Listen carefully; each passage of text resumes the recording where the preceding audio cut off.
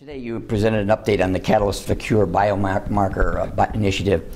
Could you give an outline, uh, basic outline of what your research has been doing in, in, in terms of neuro, neurological changes as they relate to um, uh, markers for glaucoma? I'd be happy to. So the Catalyst for Cure initiative is four investigators, a clinician scientist, a biologist, myself, and two people who are specialists in imaging and engineering who have set out to try and find a biomarker that is a readout of ganglion cell health to monitor and treat glaucoma. And so the recent progress that we've made, which is over the last three years, is first of all to bring together these four investigators with diverse expertise aligned towards a singular goal. This is unusual in the research field to bring together people in that fashion.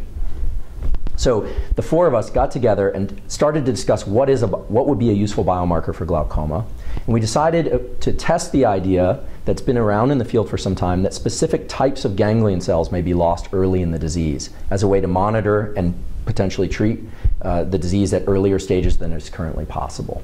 And so what we've discovered is that there is a so-called canary in the mine, as we call it, a cell type or types that are lost early in the disease. We know this from studies that we've been doing in animals, animal models, where we can specifically label different kinds of ganglion cells using genetic methods. We can make the cells glow. And then using an animal model of glaucoma, we discovered that it's a group of cells, not just one ganglion cell type, but a group of ganglion cell types called the off cells, the cells that respond to decrements in light that seem to be vulnerable early in the disease.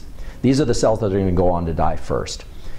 Conversely, on-type cells, cells that, ganglion cells that respond to increments in light, those cells seem to be refractory at early stages of the disease. So probing the functional integrity of the off cells, we think is going to be a very useful bio biomarker in humans for detecting uh, early stages of the disease and the progression. And we're also very interested in the biology of the on cells, why those cells are so refractory to changes in intraocular pressure. What's special about them? What do they have that allows them to survive so long? It would be wonderful to endow the other cell type, the off cells, with that same ability.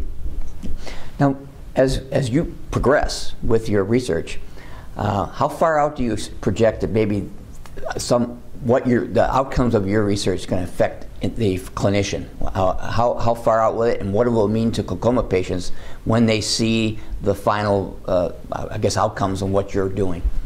That's a great question. So there's really two levels um, which I, I, can answer that question. The first one is a biomarker or a readout of disease detection and progression.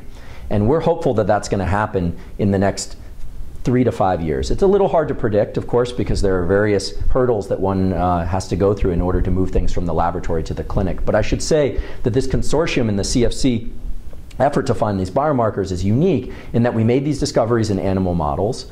We believe that we can probe the functional integrity and the health of these off cells using novel visual field tests. That can be done immediately in humans. And so we're developing those visual field tests now. Now, should those visual field tests be better readouts of the health status of ganglion cells and the progression of the disease than current methods allow, then certainly we would try and move that into the clinic as quickly as possible and get it out there in a widespread fashion as quickly as possible.